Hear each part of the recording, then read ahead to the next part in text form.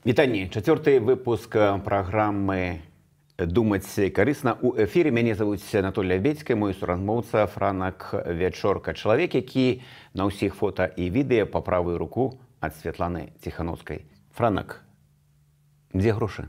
Калі пачынаеш бы унікаць якім чым это працуе то оказывается зусім невялікія грошы. Ўсё гэта звязана з тым што лукашенко ў краіне што вельмі цяжка грамадзянскай супольнасці функцыянаваць і за атрыманне падтрымкі можна трапіць у турму.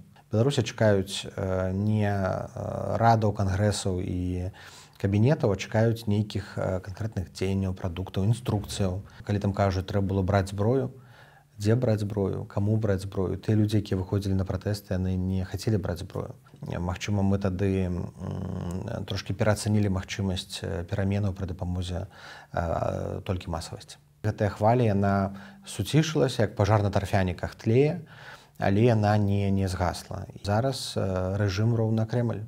Зараз яны абсалютна нераздзельна назаўжды склееныя. Чым больш ты гаворыш пра крэмль, чым ты больш ты гаворыш пра лукашэнку, тым больш ты ўзмацняеш іхнюю легітымнасць, іхнюю важнасць у гэтых працэсах. Цяперашняя крамлёўская ўлада будзе асцявацца з забойствамі, з тыраніяй, з усімі злачынствамі якімі запомніць лукашэнкаўскі рэжым. Лукашенко ён жа пабудаваў міф што толькі ён нясе сасуд стабільнасці.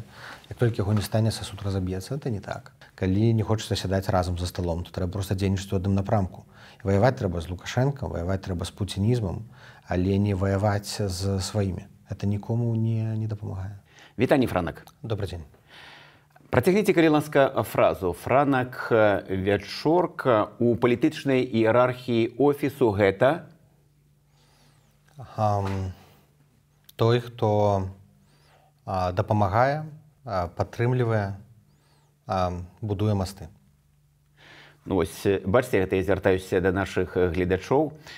У любым выпадку не шэры кардынал як лічаць некаторыя апаненты святланы ціхановскай пагадзіце франах што нас будуць глядзець не толькі тыя хто сімпатызуе камандзе святланы такіх большасць але ёсць і апаненты таму маё пытанне з двух састаўляючых першае і гэта пішуць некаторыя нашы апаненты якая спецслужба якая масонская ложа камандзіравала франака у каманду святланы ціхановскай а другая састаўляючая хто ці што матываваў вас стаць часткай каманды святланы ціхановскай у двадцатым годзе быў у чэргах на пікетах ціхановска бабарыкі здымаў сюжэты для розных замежных медыяў. Тады працаваў на радыё свабода сачыў за ўсёй кампаніі працаваў з блогерамі. А потым напрыканцы жніўня калі святлана выехала ў вільню я напісаў александру добравольскаму маўляў хачу далучыцца да каманды ён кажа прыязджайце паглядзім і праз пару дзён я быў ужо ў вільні. Ніякіх спецслужбаў не было. Гэта чыста энтузіязм жаданне нейкім чынам паспрыяць. Я бачу што мае навыкі ў міжнароднай справе міжнароднай палітыцы будуць карысныя. Тым больш якраз там пару гадоў таму назад вярнуўся з навучання ў штатах. Ну і з таго часу вось мы працуем разам кожны дзень са святланай з александром з вами анатоль і мне вельмі падабаецца што каманда такая разнашэрсная з рознымі поглядамі з рознымі бэкграундамі шмат моладзі але шмат людзей сталага веку з досведам яно стварае такую сінергію і вот ужо два гады мы не згубілі дынаміку Таму што вельмі часта такія палітычныя ініцыятывы яны запальваюцца і згасаюць у нас ужо два гады мы просто ідзем як ледакол прабіваем вось гэтую там льдзіны абыякавасці на міжнароднай арэне дзе магчыма там зараджаем энергіяй беларусу унутры краіны часам паспяхова часам не.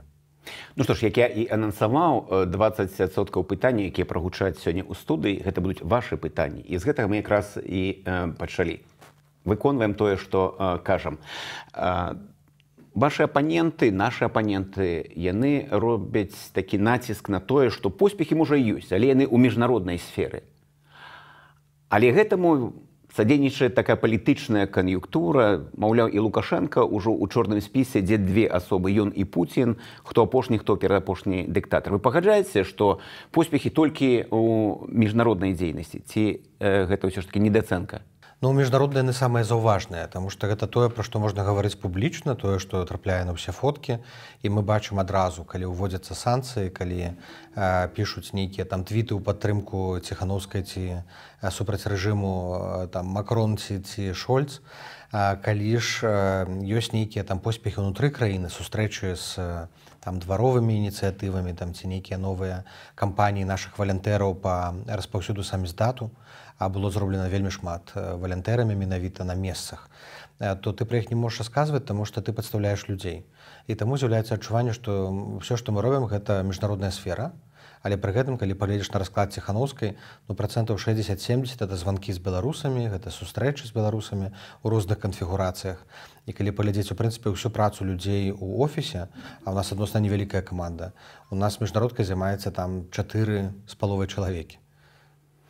А вось калі працягнуць міжнародную тэму у нататніку святланы ціхановскай ёсць тэлефоны лідараў еўрапейскіх еўраатлантычных каму яна можа проста патэлефанаваць і сказаць там ведаеш эмануэль олаф там Джон не ведаю хто.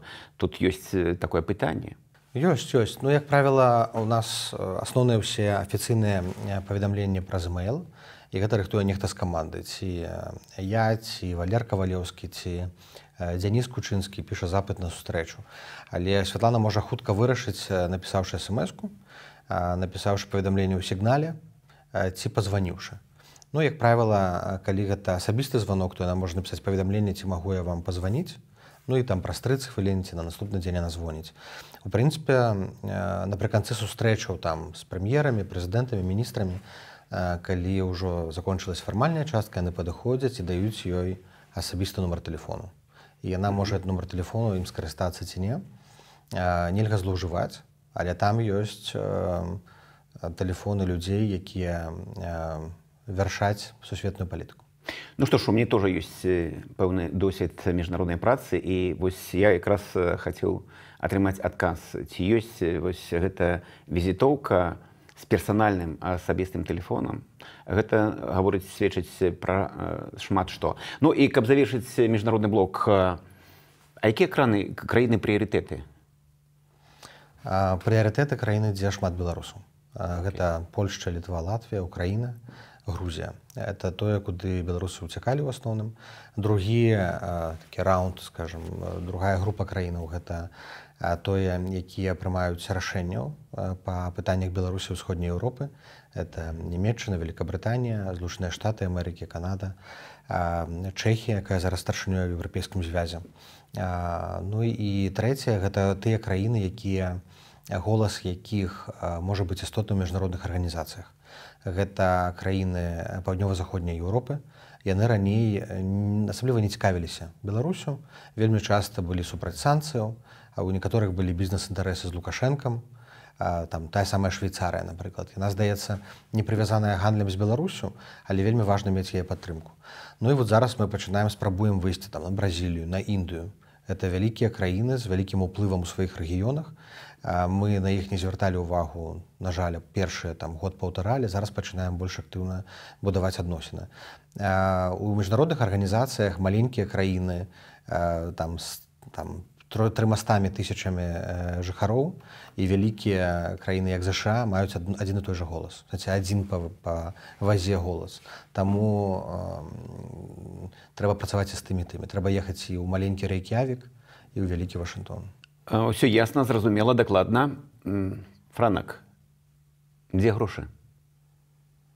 Это адно з распаўсюджаных пытанняў. Ёсць выяўленне участкі апанентаў і прыхільнікаў беларускага рэжыму што офіс сядзіць на нейкім мяшку і просто дае на табе на табе на табе таму пытанне дзе грошы Ну офіса офіс не распараджаецца грашыма гэтаксама як і палітычныя структуры не распараджаюцца грашыма тыя хто выдзяляюць грошы гэта дзяржаўныя фонды это міжнародныя фонды. Яны як правіла апісваюць прыярытэты па якіх яны выдзяляюць наймаюць партнёраў міжнароднай арганізацыі там тыпу айрекс ідзі там яшчэ нехта хтосьці працуе з медыямі хтосьці працуе з нда і гэтыя арганізацыі потым выбіраюць сабе партнёраў.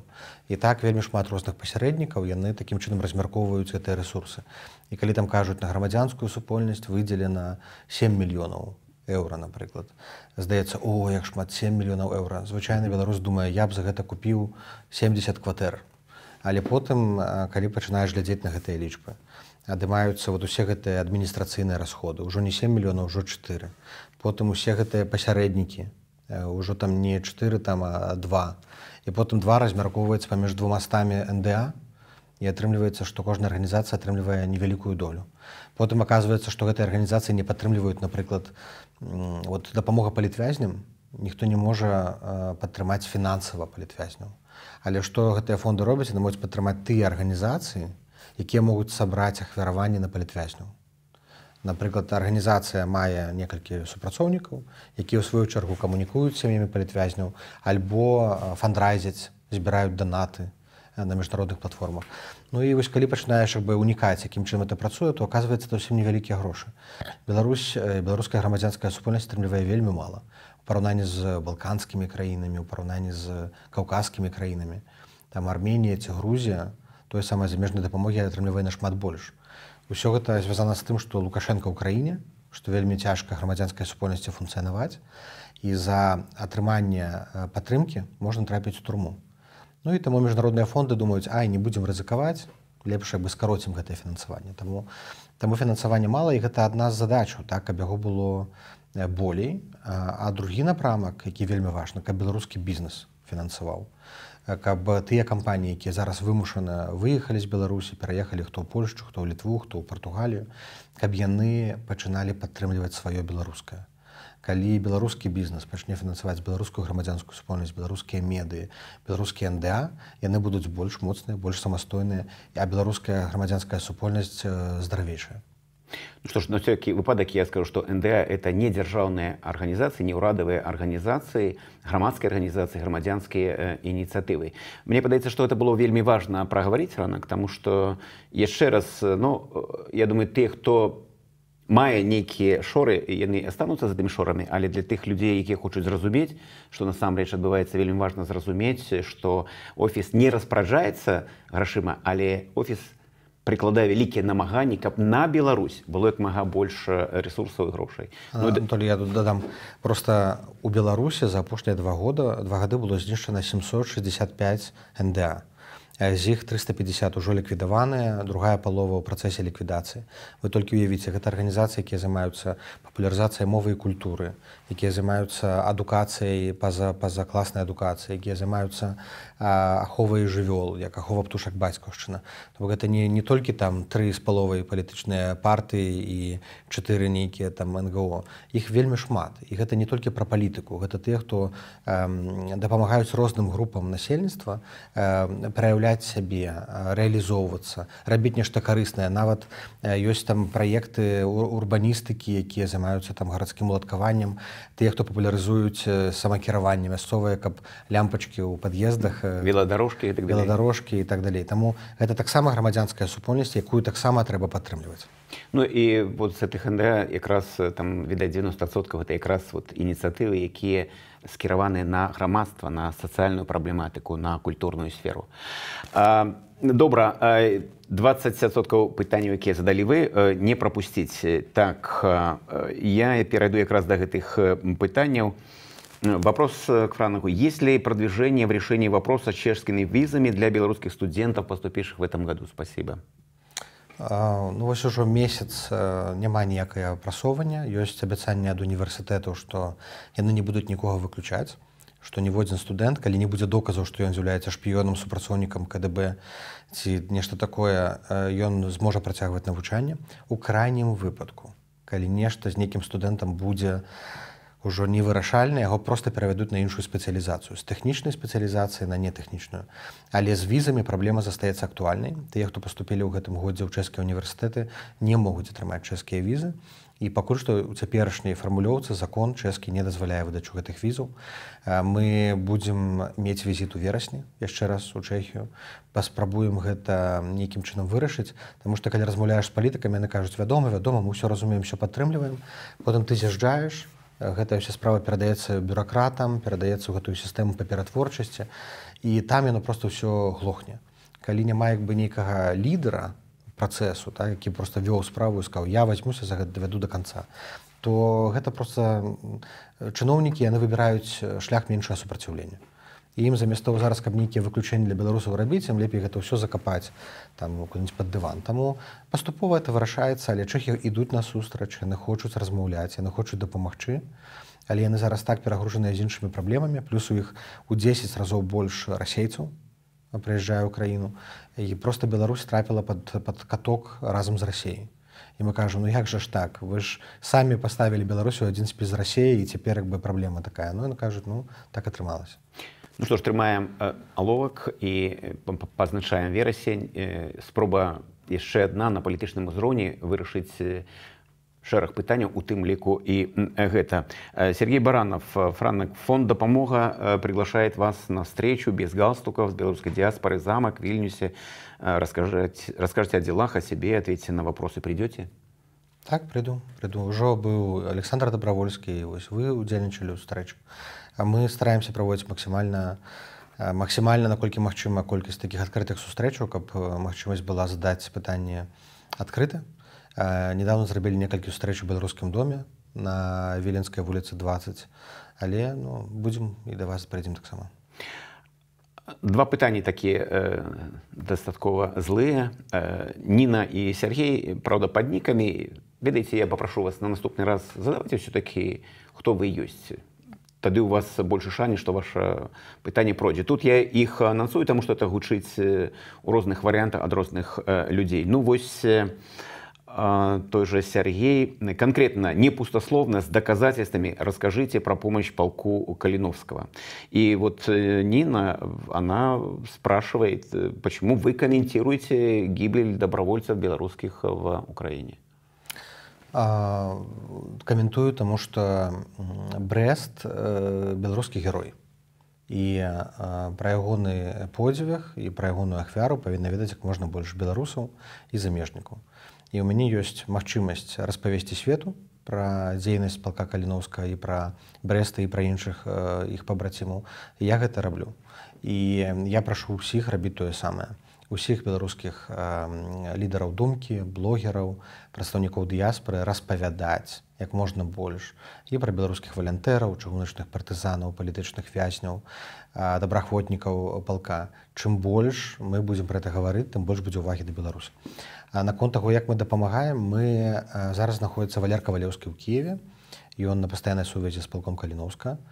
Спачатку былі нейкія непаразуменні добраахвотнікі лічылі што мы не павінны ніякім чынам мець нейкіх сувязяў з імі зараз здаецца ёсць такая адносіны ўзаемнай павагі сам офіс конкретно ну не мае ресурсу каб дапамагаць тому что мы не маем сродкаў каб нейкія вялікія рабіць перадачы як там фонды напрыклад але мы перадалі ўжо тры нават чатыры аўтамабілі вялізны набор пакет дапамогі супольна з мэрам вільні быў перададзены валер кавалеўскі пастаянна прыводзіць невялікія там пакеты гуманітарнай дапамогі мы здамовіліся зараз з некалькімі краінамі што яны будуць праз таксама дапамагаць у меру сваіх магчымасцяў. Мы не гаворым пра дапамогу летальнай зброі, але мы гаворым пра дапамогу альбо гуманітарным начынням, альбо нейкай тэхнікі, тэхналогіяў, якія неабходныя палку для, для выжывання, для абароны, для больш эфектыўнай працы. Мы адстойваем полк на палітычнай арэне, што ён неабходны. Мы гаворым пра гэта і ва ўкраіне і за мяжой нашая сіла менавіта ў тым што мы маем выхад на на сусветныя медыі на сусветных палітыкаў і ўсё што просяць нас полк зрабіць мы робім і будзем рабіць Франак вечорка у нас у студіі чацвёрты выпуск. Калі ласка задавайце пытанні каментуйце і прашу вас стаўце падабайкі таму што гэта патрэбна для таго каб гэта відэо паглядзела як мага большая колькасць людзей.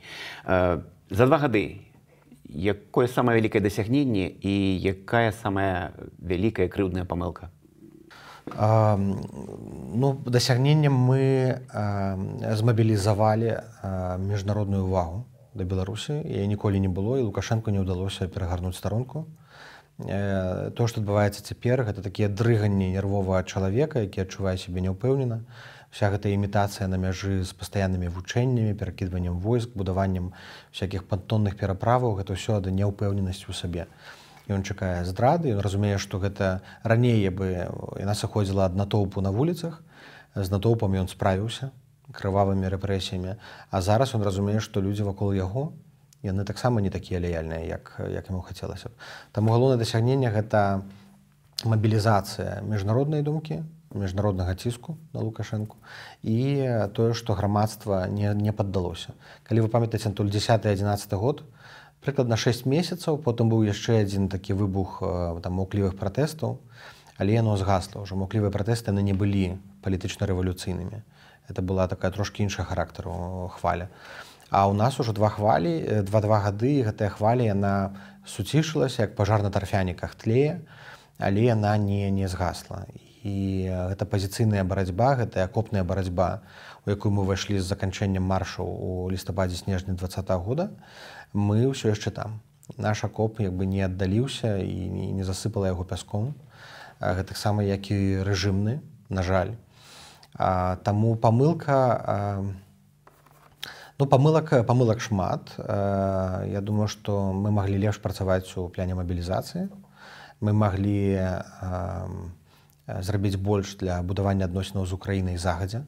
І не тое што там для сустрэчы з зяленскім а для тлумачэння украінцам што адбываецца ў беларусі. Бо аказалася што украінцы просто не ведаюць не ведалі э, пра падзеі беларусі ад два -го года. а ці маглі мы зрабіць больш у пляне там санкцыяў ці там гвалтоўнага супраціву я не думаю. Потому что калі там кажуць трэба было браць зброю дзе браць зброю кому браць зброю. Ты людзі якія выходзілі на пратэсты яны не хацелі браць зброю.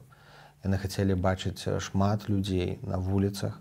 І тады здавалася што калі выйдзе 100 тысячаў на вуліцы то сітуацыя памяняецца выйшла 300-400 сітуацыя не памянялася. Ты знаешь что просто не Магчыма, мы тады трошкі пераацанілі магчымасць пераменаў пры дапамозе толькі масавасці. Да пераліку памылак можна аднесці вось гэта імкненне не раздражняць пэўны час Крэмль. Мы Крэмль не проста не не думаю, што это была памылка. Я думаю, што тактычная такая ну, набор дзеянняў. Абсалютна, таму што ты павінен фокусавацца на адной мэце мэта была гэта раскалоць эліту лукашэнкаўскую і дабіцца перамову і новых выбараў. Калі мы ўводзім проста ў гэтую форму, калі б мы ўводзілі ў гэтую формулу крэмль, мы б толькі яго ўзмацнялі. Мы б толькі давалі яму больш вагі. Нас не было мэты раздражняць. Нас была мэта не, не рабіць яго гульцом ўсё гэтай сітуацыі, не рабіць яго удзельнікам. Таму што чым больш ты гаворыш пра крэмль, чым ты больш ты гаворыш пра лукашэнку, тым больш ты ўзмацняеш іхнюю легітымнасць іхнюю важнасць у гэтых працэсах мы сканцэнтраваліся тады на рэжыме на барацьбе з рэжымам і мы працягваем на гэтым канцэнтравацца. Але крэмаль зрабіў тады свой выбар. Ён увайшоў і без нашай дапамогі ў гэтую у гэтае ўраўненне. Ось і зараз рэжым роўна крэмаль зараз яны абсалютна нераздзельна назаўжды склееныя таму зараз тут ужо ну, не раздражняць абсалютна не раздражняць ігнараваць ужо няма сэнсу яны яны зрабілі свой выбар яны назаўжды страцілі павагу у вачах беларускага народу. Цяперашняя крамлёўская ўлада будзе асцявацца з забойствамі з тыраніяй з усімі злачынствамі якімі запомніць лукашэнкаўскі рэжым давайте крыху паговорым пра перспектыву будучыню як вы ацэньваеце ось магчымасць таго што я называю такім э, ціхім грамадскім імпічментам святлане ціхановскай. Ну, зараз ёсць розныя ініцыятывы дзе рознымі галасамі гаворыцца ну, пра аб'яднанне пра перафарматаванне і гэтак далей. Ну гэта звонку і выглядае калі-нікалі дастаткова так і цікава і прывабна. Але па сутнасці ну мой досвед паказвае што насамрэч гэта спроба сказаць не так сядзім і ёсць такія прапановы гучаць што патрэбна можа ратацыя лідара ці некае калектыўнае кіраванне. Я гэта называю вось такі ціхі грамадскі імпічмент ціхановскай. Наколькі вялікая гэта пагроза вот ёсць аналіз ці ёсць такое разуменне сітуацыі ці гэта перабольшванне? Э, такія ратацыі такія рашэнні мелі б сэнс калі б ціхановская кіравала гэтымі ініцыятывамі загадвала ім што рабіць вызначала іхнюю дзейнасць. У нашай цяперашняй канфігурацыі дэмакратычных сіл у Э, ну, пануе гарызантальная арганізацыя. Ніхто не замінае э, там вользе карач там валерыю цапкалу ці э, там супраціву партызанам рабіць тое, што не робяць. Яны не просяць ціхановскай дазволу і ціхановская не не можа ім нешта забараніць. Не выдае ліцэнзіі. Не выдае ліцэнзіі. той самай на міжнароднай арэне, таму казаць, што там аб'явіць ціхановская імпічмент яна не, яна і не ўступала ў пасаду, каб аб'яўляць у імпічмент. Яна захоўвае абсалютна неверагодны беспрэцэдэнтны маральны і палітычны аўтарытэт і легітымнасць яе ёсць легітымнасць якая прывяла ў тым ліку да гэтага аўтарытэту і уплыву. У беларусаў нават пасля дэмакратычных пераменаў яшчэ 50-100 гадоў Мачыма не будзе такога лідара з такім міжнародным уплывам. Будзе прызнанне будуць будуць сустрэчы але такі аўтарытэт сіла каб беларуска лідара называлі там топ-20 палітычных лідараў свету альбо самай уплывовай жанчыны Еўропы альбо кандыдата на нобелеўскую прэмію палітыка. Такога мы яшчэ доўга не паўторам нават пасля сходу лукашэнкі Таму зараз усе гэтыя спробы там змагацца з ціхановскай калі яна сама не атрымаецца за гэтую ўладу і гэта абсалютна не патрэбна она вымушана ў гэтых санях таму што ў яе сядзець муж таму што сядзяць тысячи людзей у турмах і таму што яна не можа вярнуцца пакуль не памяняецца сітуацыя ў краіне пакуль яна не памяняе сітуацыю ў краіне. Таму гэта это марна бессэнсоўна шкодна шукаць нейкія кропкі расколу. Трэба шукаць месцы дзе можна размаўляць узаемадзейнічаць. Калі не хочацца сядаць разам за сталом то трэба просто дзейнічаць у адным напрамку. Ваяваць трэба з лукашенко ваяваць трэба з пуцінізмам але не ваяваць з сваімі. Это нікому не не дапамагае. Ну вось якраз мы і перакідаем мосцік кангрэс 6 7 жніўня хутчэй за ўсё вільні гэта можа стаць галоўнай падзеяй гэтага года Ну кангрэс хутчэй ўсё будзе сёмага 9 жніўня ці будзе галоўнай падзеяй мы яшчэ пабачым год яшчэ не закончыўся. Але галоўная задача гэта канешне знайсці новую канфігурацыю палітычнага поля беларусі але таксама падвесці вынікі за два гады. Вось тое што вы мне зараз пытаецеся трэба каб усе тыя хто працавалі не толькі ціхановская А каб кожны хай кожны пры справаздача. Конечно это справаздач павінна быць кожна тому что усе чакаюць справаздачы ад ціхановская ад офіса а ад справаздачыся перад самімі сабой. Неважно вы арганізацыя лідар блогер. Чалавек. Что вы за два гады рабілі каб вызваліць палітвязню каб памяняць сітуацыю? Потому что патрабаваць ад іншых это ўсе ўмеюць. Таму гэта будзе добрая магчымасць. Мы пастараемся сабраць максімальнае шырокае кола прадстаўнікоў каб там былі не толькі прыхільнікі ціхановска але каб там былі і праціўнікі крытыкі толькі так яно атрымаецца інклюзіўна і эфектыўна але э, так справаздачу людзі чакаюць людзі хочуць это бачыць разам з тым э, людзі хочуць э, бачыць нейкія прапановы якія вядуць да кансалідацыі. І наперад што мы можемм гаварыць? Будзе створаны рух э, будзе нейкі фармат ценявога кабінету э, вось гэта прапрацоўваецца гэта ў павесцы дня Так ёсць рух кабінет як асноўныя ну, прадукты вынікі з гэтага кангрэсу. Для руху патрэбная агульная дамоўленасць пад якой шыльдай, з якой мэтай і ў якой форме будзе функцыянаваць. Таму што ён не павінен быць вертыкальны, быць гарызантальны, можа быць нейкай каардынацыйнай інстытуцыяй, якая бы вызначала прыярытэты для руху. Бо рух цяпер ёсць, але яно не аб'яднанае якось польская салідарнасць пад адным брэндам. Калі гэта будзе, тады з'явіцца адчуванне ў людзей прыналежнасці да нечага. Гэта прыналежнасць яна трошкі згубілася за апошнія два гады. Наконт кабінету гэта многім здаецца, што вот усё вырашыцца і пытаешся чаму, а таму што ўвесь свет прызнае. Свет ужо прызнаў усё і прызнаў ціхановскую. ніхто зараз дэ прызнаваць яе не збіраецца. То, што з'явіцца кабінет, просто кабінет, каб яго прызнавалі замежнікі, не арыентуйцеся на гэта.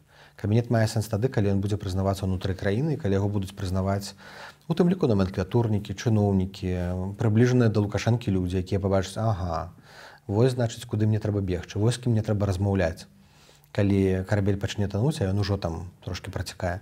Не трошки а ўжо так сур'ёзна працякае.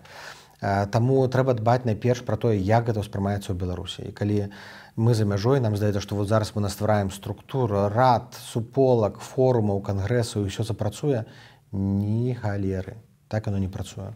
У беларусі ўспрыманне зусім іншае.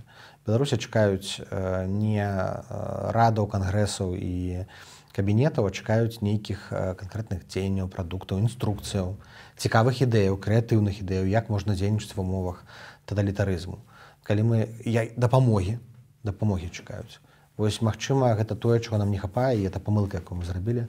Сістэма дапамогі людзям унутры краіны яна не працуе, яна не функцыянальная цяпер і е трэба перасэнсаваць. Ну, я толькі одну рэпліку ведаеце у нас у гісторыі ўжо быў час калі тут вот у вільні была такая спроба стварыць нешта на шкалт ураду і нават з'явіўся генеральны прокурор з'явіцца ён з'явіўся але што далей а, далей но прастора для мемаў анекдотаў і гэтак далей там тут вельмі важна пралічыць што будзе далей а, напрыканцы мы выйшлі на на фініш э, мне падаецца і нашим э, слухачам многім што ўсё ж таки не хапае сістэмнай працы по сацыяльна-эканамічнаму блоку. Людзі чакаюць вот нейкую праграму Ну, у свой час э, вот я далучаўся да некалькіх праграм апошнія там мільён новых працоўных месцаў але важна мець нейкі такі прадукт што трэба рабіць у параўнанні з тым што не робіць сённяшняя нелегітымная ўлада Таму што ўсё ж такі ў шкале прыярытэтаў для многіх людзей калі не большасці эканоміка сацыяльнае пытанне фінансы астаюцца найбольш важнымі. Што тут? Можам чакаць чаго? За апошнія 15 гадоў вы пацвердзіце Анатоль столькі было ўсяго ўжо прапрацавана чаго не хапала ніколі это правільнай упакоўкі падачы. Каб кожны чалавек мог зразумець як гэтыя перамены крануцца асабіста яго. Таму трэба паглядзець все, што было зроблена рознымі экспертамі. Вы праводзілі круглыя сталы, там рэанімацыйны пакет рэформаў праводзіў там саранчукоў і іншыя шмат шмат рабілася. Малая канстытуцыя ўсё, што вакол яе будавалася. Гэта трэба падняць і паглядзець, як мы можемм запакаваць гэта і паказаць людзям. Вынаходзіць ровар не мае сэнсу ісці ў дэталі нельга, бо зараз чым больш ісці ў гэтыя дэталі як будзе працаваць там ці адбывацца прыватызацыя там больш будзе сварак. Зараз трэба агульную карціну рамачныя дакументы прэзентаваць і можна зрабіць это на кангрэсе. А, і там павінна быць агульнае разуменне напрамку але мы не павінны ісці туды дзе ідэалогія можа падзяляць э, сварыць. Чаго не хапае бачанне транзітнага перыяду. Я думаю што гэта тое на чым раней не працавалі. Дакладна структурна пакрокава распісаць якія будуць змены ў транзітны перыяд да выбараў першыя месяцы пасля выбараў якія будуць зробленыя прызначэнні якія будуць зробленыя заканадаўчыя змены. Тады ў людзей будзе проста ўпэўненасць так што это ўсё не разваліцца не рассыпецца. Бо лукашенко ён жа пабудаваў міф што толькі ён нясе сасуд стабільнасці. Як толькі яго не стане сасуд разаб'ецца. Это не так не сасуд і нестабільнасці а краіну і каб каб эту краіну просто давесці да, да, да пераменаў у нас павінна быць канкрэтная мапа з, з гэтымі скрыжыкамі куды ісці крок за крок ну так давно ўжо нясе не сасуд а нясе гумовую міліцэйскую палку гвалт і все астатняе напрыканцы што вы хацелі попрасіць у беларусаў попрасіць Попросить? А, а, ну не попросить ну. Я думаю что можа грошай можа что там ініцыятывы больше что? Ну зараз самое важное это не не упадаць у адчай там расчаравання і не губляць сувязі з беларусю беларушчынай зараз добры час перайсці на беларускую мову зараз добры час заняцца асвету мацаваннем ідэнтычнасці. Асабліва калі ідзе вайна тое наколькі моцна беларусы будуць адчуваць сябе беларусамі можа і залежыць наша перамога. Для гэта не абавязкова быць палітычным актывістам ці удзельнікам палітычнай партыі это можна рабіць дома сям'ёй выхоўваць дзетак а тыя хто выехалі з беларусі там у літве польшчы аб'ядноўвацца ствараць там у яслях нейкія беларускія таксама групы розныя дробныя рэчы якія не даюць нашай пажару нашай не пажару агню полымі нашай рэвалюцыі згаснуць Ну і напрыканцы я заўсёды прапановую сваім суразмоўцам сказаць тое, што магчыма, мы не закранулі пад час нашай размовы. Это можа быць нейкі эпізод ці проста нейкае пажаданне нашим подписчикам, нашим гледачам. Не, нічого такого. Ну, значит, мы добра папрацавалі. Ну што ж, велічэзны дзякую. Я яшчэ раз хочу нагадаць, што у нас у праграме чацвёрты выпуск, хто не паглядзеў папярэдні, абавязкова загляніце. Там вельмі цікавыя таксама спікеры. Стаўце падабайку, напішыце свой водгук. Шэсць слоў, кажуць эксперты, калі пішу адным сказам, то это таксама прасоўвае гэта відэо да новых людзей. Я хачу падзякаваць франаку за гэту размову. Дзякуй і хай усё атрымаецца. Дзякуй.